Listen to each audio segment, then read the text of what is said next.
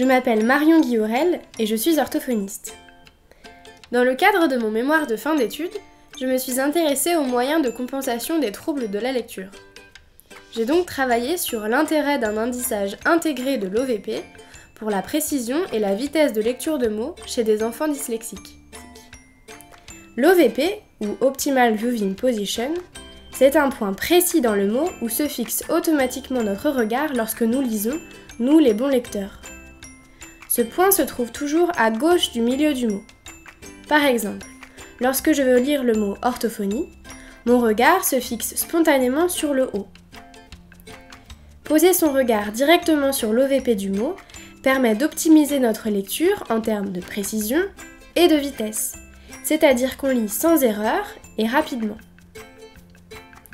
De récentes études scientifiques ont montré que dans la dyslexie, ce trouble spécifique et durable de la lecture, on observe des difficultés visuo-attentionnelles.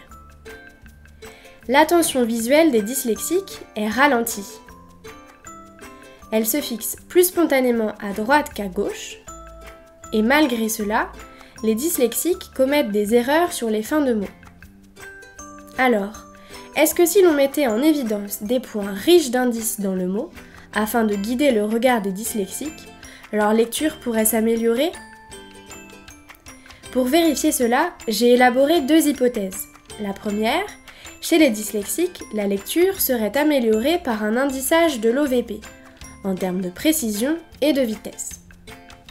La deuxième, chez les dyslexiques, la lecture serait améliorée par un indissage en fin de mot, un indissage expérimental appelé FDM, en termes de précision et de vitesse. J'ai alors proposé à 68 enfants dyslexiques de lire trois listes de mots différentes. Une liste de mots sans indissage, une liste avec un indissage de l'OVP et une liste avec l'indissage en fin de mot.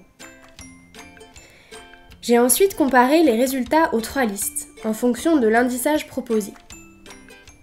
Les résultats montrent que l'indissage de l'OVP et l'indissage en fin de mot améliorent la précision de lecture. C'est-à-dire qu'avec un indissage, les sujets dyslexiques font moins d'erreurs de lecture.